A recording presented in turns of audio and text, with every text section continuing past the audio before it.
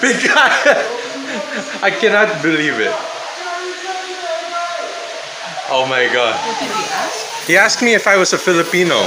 I don't know what else do I have to do or say to get him to understand what I'm saying. And then he would question my nationality as a Filipino just because I speak English and he speaks Tagalog. And who's more popular? Yeah, he's more popular. Well, at least I gotta be in this vlog. Pilipino mo kayo? Filipino! Oh, Pilipino. Filipino